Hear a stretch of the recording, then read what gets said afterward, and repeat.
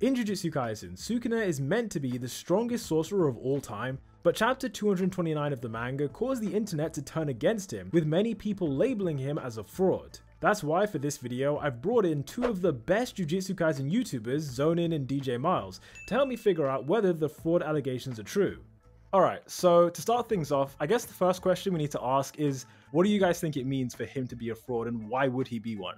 I think this narrative mostly came from refugees from My Hero, right? Because like the community, uh, the Jujutsu Kaisen community has grown so much over the last couple weeks. And I mean, mainly it's because Gojo has been unsealed, of course. But I also feel like since My Hero has been falling off, a lot of that community has come over to Jujutsu Kaisen because it's like the new hotness. Because like if you look on Twitter, like during the prime time of like chapters and when the leaks are getting released, it is so similar to what the My Hero community was like, and it was never like that before. So I think it's really just this influx of like new, like fair weather fans, to be honest, putting like the clown wig on Sukuna and saying that, you know, he's like a fraud or whatever. Like fraud just kind of has lost its meaning at this point. It's like if you don't do what I like, then you're a fraud. That's essentially what it's become. But going back to the original question, why they say Sukuna is a fraud is because he's overcoming Gojo with using abilities and means that otherwise aren't inherent to him. And now that he has been hit with Infinite Void, now he summoned Mahoraga to take on uh, Gojo, which is like, you know, end game essentially. Like it's really hard to overcome that.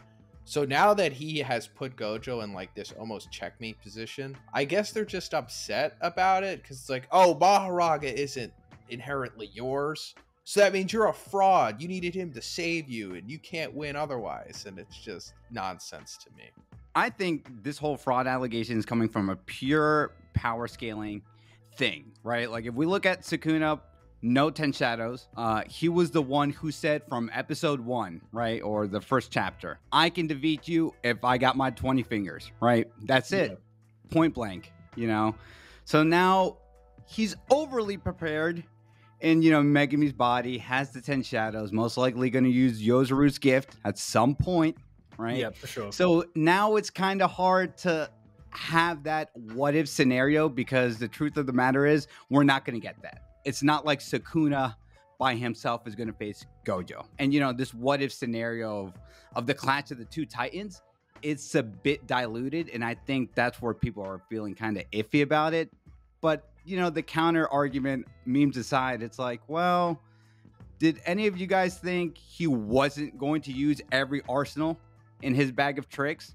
Right. So he's overly prepared uh, for better and for worse. And Mahoraga is just one of those things, um, you know, in his, uh, you know, in his arsenal. I was wondering, do you think that in the last chapter he was almost letting Gojo beat him in a way just to build up to this moment? I think that the, the way when we look at the fight from the get, uh, from the beginning to where it is now, yeah, it seems like all of this was kind of luring him in, even at the risk, right? Like him taking the riskier option, as Gojo mentioned, to be damaged for Mahoraga to just basically adapt to all of this. Yeah. Um, now it's yet to be determined what his curse technique is and whether that was enough to, you know, uh, defeat Gojo by himself, but regardless, it doesn't matter because that's not the narrative we're getting now. Yeah, that question right there is where it all comes back to. Like, could he have beaten Gojo if Ten Shadows wasn't involved at all? Like, could he have done it? I mean, you make the point that he hasn't shown his full curse technique, which is valid because obviously he has the fire and probably other stuff as well. Like, we don't know what's in his black box. Like, he could have so many more moves up his sleeves that we've never seen before. So, in theory, yeah, he might have still beaten Gojo even without Ten Shadows, but the fact he's gone down this road, it implies that at the very least Mahoraga is easier to beat Gojo than using Sukuna's own technique. So if Mahoraga wasn't in the equation, would he have still won? It's it's a question that is hard to answer at this point, isn't it? I think he can for sure because he's already beating him. Like he was beating Gojo without using the Ten Shadows for most of the fight. So if he was, if he didn't have the ten shadows, and let's say he was like still in Yuji's body or something, hmm. it would have been more difficult for sure. But I do think that he could have defeated him because he's just better than him. He's outplaying him in like most of this match. And I guess people just don't like that because there's more Gojo fans, I guess. Sukuna has got most of the small wins up until this point, but as a counter to that, I would say that Gojo, he's been learning as the fight's been going on. Because remember, like when his domain got destroyed by the open barrier, like he was taken by surprise. He didn't expect that to happen, and so like a bunch of his domain expansions after that, you know, the big one, the small one, that's just him tinkering, like figuring out what exactly Sukuna can do and how he can counter it. So I wouldn't say that's Sukuna dominating Gojo. That's just Gojo trying to learn, like how exactly am I going to overcome this? Yeah, I agree. It's uh it's interesting looking at the fight where I think Sukuna overall is winning prior to Mahoraga, right? But the feats that Gojo has done on the on the pushback has been definitely more impressive. Because a lot of people were questioning, you know, that, that first time when he was caught in the, the domain expansion, and I still hope they address this. Why didn't anyone tell Gojo about the barrierless domain in the first place? Like this, I, I really need that answered because if it's not answered, it I don't know. I don't want to say it's a bit sloppy, but well, I think they could have even told him because even when like Kenjaku did it and when Sukuna did it last time, when they did that, no one else had a domain inside that open barrier, so they didn't even know what would happen really. Mm-hmm. So even if they did tell him, would he have known that it would be destroyed from the outside? It's impossible to say because yeah, we've we've literally never seen it. Yeah, yeah, and this might be a little bit of a weird analogy, but I feel like the way the story is going now, even with Gojo still being on uh, on the defense, look, this is going to be like a like wrestling, right? You, you can't have two of the biggest, you know, Hulk Hogan and Macho Man or whoever, right, be one sided. So at some point, even if Gojo's looking bad and Sukuna is winning, you know, uh, twirling his evil mustache, I think Gojo's still going to come out and do something extremely impressive, defeating Mahoraga or something else to that nature. Uh, and regardless of Sukuna using his real curse technique to get Gojo, yeah, maybe Sukuna could have beat him without the 10 shadows, but we're not going to know that because he had to use it. And that was basically the equalizer or the deciding factor in all this when it's said and done. Yeah, it's just kind of in a way it's just disappointing that we'll never know for sure if he would have won.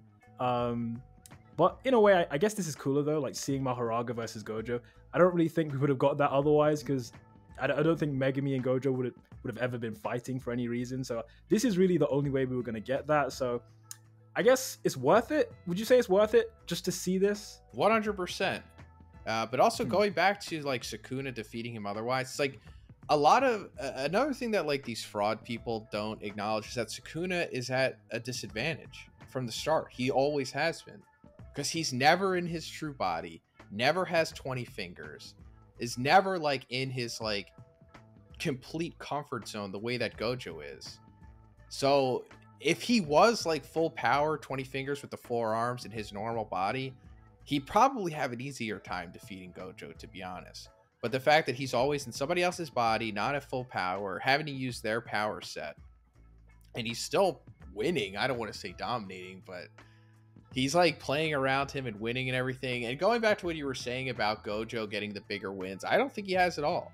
Like him just blasting Sukuna with a red or whatever, we don't even see it, or stabbing Sukuna in the previous chapter. I think that's because Sukuna wanted him to do that. Like he wanted to get hit with Limitless Void. He wanted him to hit him with whatever he's doing to make him think that he has the advantage here because it even goes back to chapter 228 when like Gojo's questioning like yeah, he's using all of the abilities granted by his domain, but like why isn't he using the 10 shadows, specifically Mahoraga? And it's because he was waiting. He always had the Dharma chakra like in the shadows or whatever, outside of Gojo's grasp. I mean, I guess he could see it with the six eyes, but he was like adapting to things the whole time.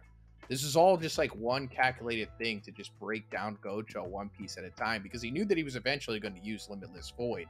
And once he got hit with it, it was pretty much game over at that point. I mean, I don't think Gojo is like completely defeated, of course. I'm sure he still has some tricks up his sleeve. But anyway, I'm just trying to say Sukuna is not a fraud. If anything, Gojo is a fraud. He was like born with a silver spoon in his mouth. Gojo is a fraud because he's like he's the embodiment of like the rich talented, like good looking, like narcissist kid that like you grew up with. Mm-hmm, mm-hmm. He's essentially that. So I, I I think the better question is now, you know, is he going to get a second awakening then? Would you want a second awakening from Gojo? the thing is, if Sukuna's been using the wheel since the very beginning, then that means he's adapted to literally everything Gojo can do. Like purple, red, anything Gojo can do, he's adapted to it. So if Gojo doesn't have another awakening, he's dead. So um, it would be interesting to see maybe like an open barrier from Gojo. Maybe that would make a difference. You know what I'm thinking might happen? Do you do you guys remember in like Dragon Ball Super when like Goku went Ultra Instinct against Jiren and like he basically beat Jiren and then just as he's about to deal the finishing blow, he collapses from exhaustion and he just like it hits him, right? Oh, I actually- yeah, I can see that oh. happen. I think that might happen because the nosebleed was the first hint of that. I feel like whatever's about to happen, he he's gonna beat Mahoraga somehow by awakening something or doing the maximum. And just when it looks like he's about to win, it just hits him, and he's like the exhaustion of using his curse technique. You know, how many domain expansions has he done? Like five at this point. Um, Yeah. So Yeah. and probably six soon in like next couple chapters. So yeah, I think that could happen. Like six domain expansions back to back, literally breaking the world record here, and then just collapses after that as soon as he's about to beat um, Sukuna. So I think if that happens, I'm, we'll definitely get more Sukuna fraud allegations for sure. Um, but but I think yeah, that's that's definitely possible. So there's one thing I want to make a real side tangent, and it's with Kashimo, right? Because I think I saw a creator talk about, you know, how Gege is very influenced with the whole Buddhism and Hinduism and all that stuff. Yeah. And they were basically saying Kashimo's like final attack is based off of this whole Buddhism mythology or whatever, where the final attack, I guess, was catered toward the Buddhist analogy of what Sukuna is, and that one final attack, like in Buddhist history or whatever, I'm butchering it, but that attack was actually specifically done at the Mahoraga equivalent. So now I wonder if we get a 2v1 with Sukuna Mahoraga versus Gojo next chapter, or this is where Kashimo's like, you know what? I'm just jumping in. Don't stop me. You know, and now we get some crazy 2v2 action, or Kashimo somehow intervenes and his final attack somehow gets designated toward Mah- Mahoraga so Gojo can face off against Sukuna. And then at this point, now the the fraud the fraud allegations is going to be pinned on both sides because now this isn't a one v one anymore. Yeah, I mean, I mean, Kashimo's his curse technique, his like one-time curse technique, that definitely has to come into play at, against Sukuna in some way. Um, because if it's, I mean, the whole reason why Kashimo saved that was specifically for Sukuna. So if we were to end the series with that never being a thing, would that be disappointing? I feel like maybe because it was kind of built up as this thing specifically that could take down Sukuna, but uh, we'll see what happens with that. Anyway, guys, so just before we wrap up the video, I want to hear your final conclusions. Is Sukuna a fraud? Yes or no? We'll start with you, DJ Milez. What do you think? I don't think he's a fraud, but from the power scaling fandom, people will always consider him to be a fraud, and those what if videos are going to be done nonstop from now until the end of the series. Zhoniin? No, he he's he's at such a disadvantage, and he's still winning I don't in think like so. such a but cool can I- way. I take your point that like four arm Sukuna is a different beast. But if I had the choice, if I'm Sukuna, would I rather be four arm Sukuna or Sukuna with the ten shadows plus my originally overpowered curse technique? Like I feel like he's got the better end of the stick. To have ten shadows on your side plus cleave, dismantle, the fire, whatever else. I think like all of that is probably better than if he was just in his original form and that was it. I don't know. I mean, he just seems like he's he he's still not at full power, regardless. You mean like the one finger that's still out there? Yeah, But didn't he compensate for that by eating like the the head? that he ate the head, but I don't think that replaces a finger because, like, this finger has like a part of his soul in it. yeah, I don't know, but he seemed to think so. Mm. I don't know exactly how it works. Have, have you guys heard the theory that the one finger that's out there, Nobara is going to come and like use resonance on it? Have you seen that one? Uh, dude, No. Nobara's dead. Dude, she's alive. She's alive. I'm telling you. Show me the body. Show me the body. We did see it. That dead ass corpse with that eye missing. She's dead. Look, I'm still a Nobara believer. Okay, they just give way too many indirect hints about like alluding to her to not bring her back. Look, and if she's dead, she's dead. I'm just saying, then why would they like just, uh, you know, shuffle around the fact on whether or not she's dead? You know, I I think she's still coming back. Like I'm telling you, like WWE style. This is gonna be like some crazy Culling Game like appearance out of nowhere where all the good guys are about to lose, and boom, it's Nobara with the eye patch coming. And to then you hear day. you hear her music start playing, and then she starts running out. Oh man. the crowd is screaming. Yeah. Yeah. All right, guys. Well, um, thank you for coming on the channel. And just in case anyone doesn't know who you are, do you want to just say a few quick words about what you do on your channel? Uh, yeah, so I'm a Chainsaw Man Jujutsu Kaisen content creator. And uh, yeah, you can find me talking about those two series. Don't watch my channel. Don't subscribe. Just subscribe to these guys. This reverse psychology. This isn't the first time I've seen you do that. Well, well, on that note, don't subscribe to me, guys. Wink, wink. don't do it.